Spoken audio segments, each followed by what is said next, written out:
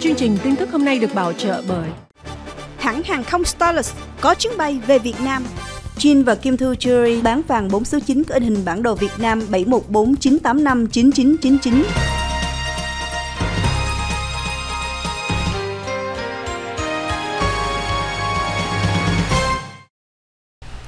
Vâng thưa quý vị, lúc nãy trước phần quảng cáo thì à, chúng tôi đang gửi đến một cái vụ ngộ độc à, tập thể ở tại à, thành phố Jessup ở tiểu bang à, Maryland. Thì sau khi mà cái chuyện nó xảy ra hôm thứ hai đó thì có một số lời đồn à, do một nhân viên bất mãn công ty rồi muốn à, đầu độc toàn bộ vân vân. Thì đến sáng ngày hôm nay để dập tan những cái lời đồn đó cảnh sát ở Jessup họ phải đưa ra một số những cái tuyên bố. À, thứ nhất họ nói là cái vụ này đó cái người mà nấu luôn cái món hủ tiếu hay cái mì xào đó đó cái người đàn ông hay người đàn bà Philippines đó cũng ăn và cũng bị ngộ độc chung với 46 người kia. À, cho nên không có cái chuyện ngộ à, đầu độc ở đây.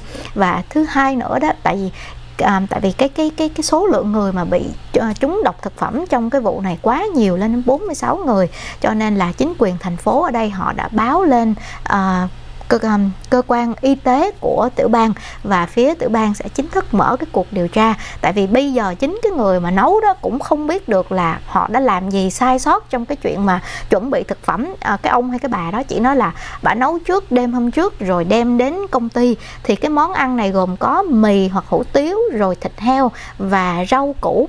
Thì quý vị cũng nhớ là trong lúc này đó ở tại Hoa Kỳ đang có một cái đợt bùng phát E. coli từ hành tây cho nên phía sở y tế họ cũng muốn à, mà điều tra xem là liệu những cái cái à, cái cái cái nguyên liệu mà cái cái người đàn ông hay đàn bà này à, chuẩn bị cái món ăn đó có phải xuất phát từ những nơi có E. coli hay là không có được vệ sinh kỹ khi mà nấu nướng thì nó đã có vi trùng ở trong đó thì cái vụ này vẫn đang được uh, điều tra nhưng mà phía cảnh sát đã trấn an dư luận là không có cái chuyện đầu độc gì ở đây cả chỉ là một cái tai nạn mà thôi Ngày hôm nay một tổ chức bất vụ lợi và từ thiện, một trong những tổ chức lớn nhất của nước Mỹ và thế giới, The Atlantic, à, thông báo chính thức họ đã được báo nhận toàn bộ số tiền đóng góp cho quỹ từ thiện từ ông Charles Finney, 8 tỷ Mỹ Kim. Một sự đóng góp lớn vô cùng đặc biệt tờ Atlantic cho biết à, tổ chức bất vụ lợi này. Họ nói trong đó có những cái số tiền dành cho quỹ từ thiện ở Việt Nam. Lẽ đương nhiên là nhiều nhất là ở Hoa Kỳ, nhưng mà các quốc gia khác bao gồm Jordan, Israel và đặc biệt có tên Việt Nam ở đây là nhận được cái số tiền mà sẽ đóng góp thiên tai rồi trẻ em nghèo đói và nhiều thứ khác nữa và qua đó để cho thấy lần đầu tiên mà có một nhà bất vụ lợi mà đã dành cái số tiền quỹ đó cho cái nỗ lực đóng góp cho người nghèo ở Việt Nam thưa quý vị. Và qua cái bản tin này mới thấy thêm được cái tấm lòng của ông tỷ phú này như thế nào. À, không bản tin không nhắc tới gì vợ con ông cháu gì cả. Mà họ chỉ nói đó toàn bộ số tài sản của ông đầu tư vào AI. Đặc biệt quý vị đi, đi ra phi trường hoặc tới à, những à, các quốc gia, thí dụ như đi sang Nhật, quý vị sẽ thấy có những cửa tiệm họ để chữ duty free, miễn thuế cho người ngoại quốc. Hoặc là quý vị có sổ thông hành đi ra phi trường, quý vị vào những cái tiệm, ví dụ sang Mexico hoặc là bất cứ nơi nào, duty free là từ ông này ra George Finney khởi xướng cái ngành tỷ phú của mình đó là đầu tư vào các cửa tiệm duty free ở phi trường và các quốc gia trên toàn cầu. Và đó là số tài sản tiền lời khổng lồ đổ vào cho ông. Thiết lập những cái duty free đó và liên lạc với các chính quyền để mở những cái duty free. Sau đó cung cấp hàng hóa của các quốc gia đó cho những du khách đi vào mua sắm với cái giá rẻ hơn nếu họ mua ở ngoài vì lý do miễn thuế. Ông thành công. Về sau này khi cái trí thông minh nhân tạo đó, ngành công nghệ này nó gia tăng, ông tiếp tục đầu tư. Tuy nhiên một điểm họ nói đó đáng kinh ngạc và tương tự như là ông Warren Buffett ông có ông Warren Buffett thì giàu hơn ông này nhiều ông có tới cả đâu cả trăm tỷ đó gần trăm tỷ đó Warren Buffett nhưng mà tương tự ông Warren Buffett thì gia đình đầy đầy đủ hết được đề cập tới vợ con rất là hạnh phúc nhưng mà riêng với ông Charles Finney này đó thì không đề cập cho đến khi ông chết ông chết vào tháng 10 năm ngoái thì năm bây giờ đó họ vừa kỷ niệm một ngày rỗ đầu tiên của ông và qua đó họ công bố cái số tài sản 8 tỷ cung cấp cho quỹ từ thiện Atlantic. Họ nói lúc mà ông qua đời ở cái tuổi 92 đó, ông sống trong một cái căn chung cư thuê ở San Francisco. Ông này ông tiện tặng đến độ vào thập niên 80, ông tuyên bố đóng góp nhiều triệu Mỹ Kim cho trường Cornell, trường uh, danh tiếng lắm của Hoa Kỳ.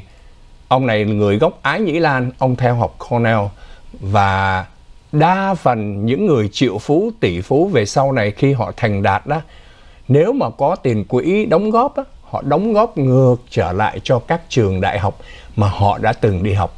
Bởi vì ai cũng nhớ ơn tới thầy cô giáo, nhớ ơn tới cái nhà trường huấn luyện và đào tạo cho họ thành công ngày hôm nay.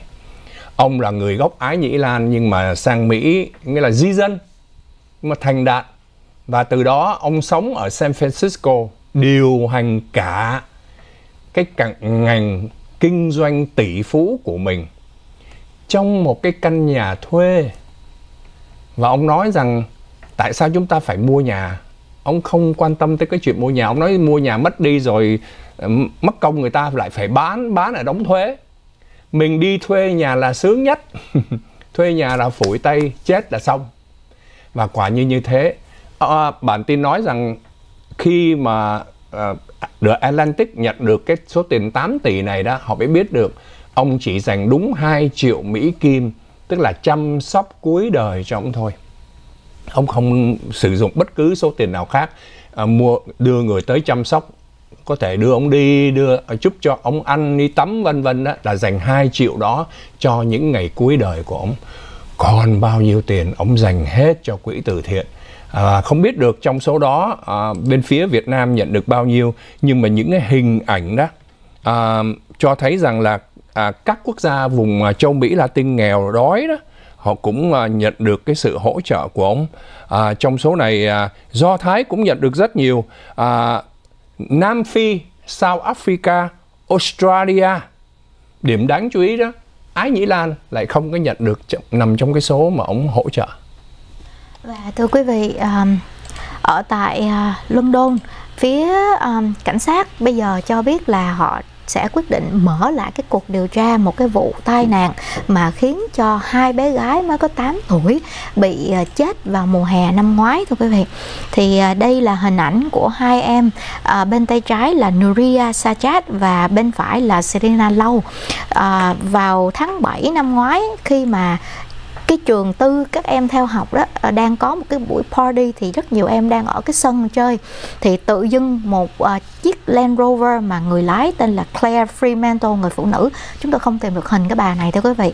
À, không biết vì sao bả lao từ ở ngoài bả lao thẳng vào cái sân này ừ. mà không có đạp thắng thì khiến cho hai bé gái này đó là bị đụng nặng nhất và chết ngay tại chỗ. 12 em khác ở ngay cái sân đó cũng bị thương nhưng mà cảnh sát ở London đó à, từ lúc xảy ra chuyện là mùa hè năm ngoái tháng 7 thì đến tháng 7 năm nay đó họ lại đưa ra cái kết luận là họ sẽ không truy tố hình sự đối với cái người phụ nữ lái chiếc Land Rover. Tại vì bả khai đó là lúc đó bả bị um, uh, động kinh thôi quý vị epileptic seizure. Thì không biết được à, bây giờ tin tức không có nói là cảnh sát có coi cái hồ sơ y khoa của bà trước giờ bà có bị hay không. Thì khi mà cảnh sát tuyên bố như vậy đó gia đình của các nạn nhân đặc biệt là hai em gái mà bị chết đó họ vô cùng ngỡ ngàng. Tại vì từ lúc xảy ra chuyện cho đến trong suốt cái lúc mà cảnh sát điều tra họ cứ nghĩ là cảnh sát đang làm việc của mình.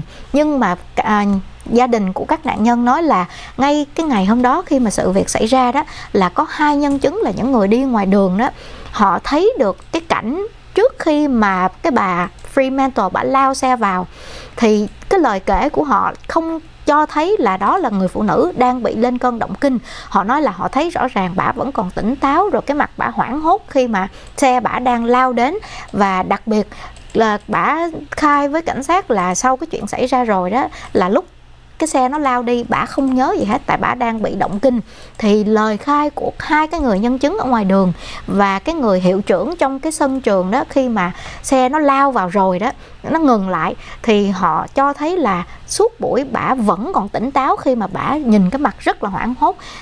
Và bây giờ gia đình của các nạn nhân nói là uh, cảnh sát không hiểu tại sao hai cái người nhân chứng quan trọng đó không hề được họ lấy lời khai mà cuối cùng họ đi tin vào cái lời nói của cái người phụ nữ lái xe thì chính vì vậy gia đình các nạn nhân đã khiếu nại và đến sáng ngày hôm nay thì phía cảnh sát London à, cho biết là họ sẽ chính thức mở lại cái cuộc điều tra này.